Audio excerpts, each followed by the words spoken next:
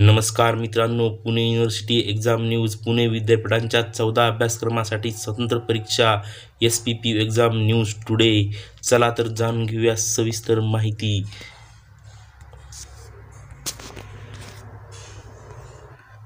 अशाच नवनवीन माहितीसाठी आमच्या अन एज्युकेशन चॅनलला सबस्क्राईब करा आणि शेअर करायला विसरू नका. पहा तर मित्रांनो पुणे विद्यापीठाच्या चौदा अभ्यासक्रमासाठी स्वतंत्र परीक्षा प्रवेश प्रक्रिया पूर्ण होण्यास विलंब झाल्याने हा निर्णय शैक्षणिक वर्ष एकवीस बावीसच्या जवळपास चौदा अभ्यासक्रमाच्या अभ्यासक्रमाच्या परीक्षेसाठी स्वतंत्र वेळापत्रक जाहीर करण्यात येणार आहे. प्रवेश प्रक्रिया लांबल्यामुळे विद्यार्थ्यांचे शैक्षणिक नुकसान होऊ नये म्हणून विद्यापीठ अनुदान आयोगाच्या नियमानुसार हा निर्णय घेण्यात आला आहे. उशिरा झालेल्या प्रवेश परीक्षामुळे विविध अभ्यासक्रमाच्या पहिल्या वर्षाच्या प्रवेश प्रक्रिया लांबल्या होत्या.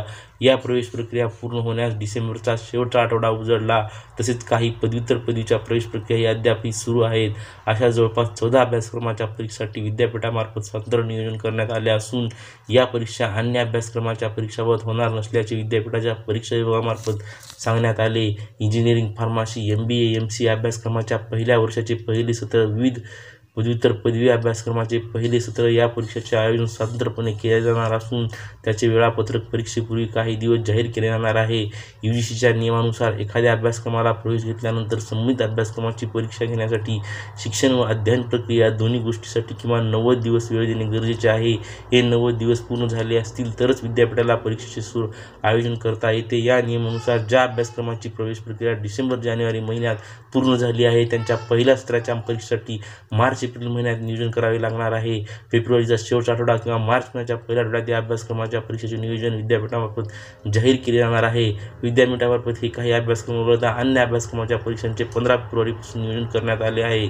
या परीक्षा वेळापत्रकानुसार होणार असल्याचे विद्यापीठामार्फत सांगण्यात आले. प्रवेशानंतर कॉलेज सुरू होऊन किमान अभ्यासक्रम पूर्ण होऊन त्याचे अध्ययन करण्यासाठी विद्यार्थ्यांना नव्वद दिवसाचा अवधी मिळणे आवश्यक आहे. सी टी सेल प्रवेश प्रक्रिया राबविते तर विद्यापीठ परीक्षा घेते. या दोन्ही यंत्रणा स्वतंत्रपणे काम करीत असल्या तरी प्रवेशाला विलंब झाल्यामुळे परीक्षेचे नियोजनही त्याचप्रमाणे करावे लागते. डॉक्टर महेश काकडे परीक्षा नियंत्रण